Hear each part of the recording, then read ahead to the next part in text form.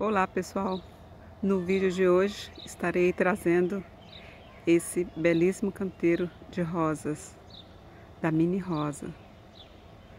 Olha pessoal que coisa mais linda, um encanto.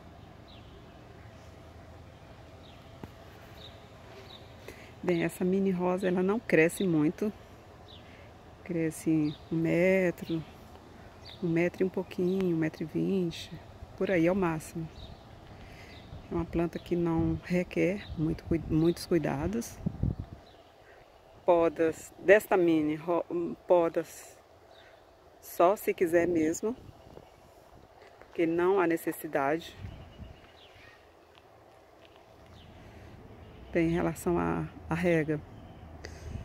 É, rosas a gente não pode encharcar, porque dá fungos, começa a amarelar, dá fungos.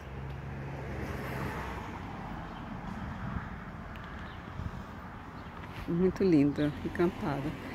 Essa mini rosa, ela floresce três meses.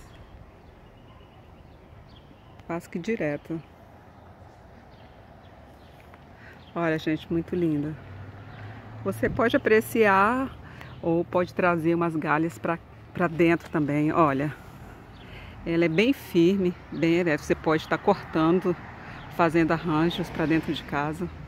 Eu faço bastante se eu vou só tem que tomar cuidado para cortar. Olha, ela tem bastante espinhos, bem espinhosa, mas é linda demais, olha só.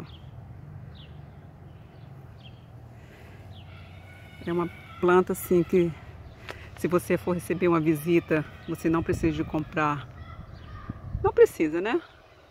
Comprar flor para fazer um arranjo. Você pode estar tá aí no seu próprio jardim, como ela é bem firme, é ereto, ó. Você pode estar tá cortando, fazendo um arranjo, colocando em um vaso, que fica muito bonito. Eu gosto muito de fazer arranjos para minha casa no verão. Você pode estar tá colocando suas rosas, pode estar tá colocando outras flores de outras cores também, fica muito bonito. Muito, muito linda. É uma planta assim que não requer quase que cuidado nenhum. Fica muito linda.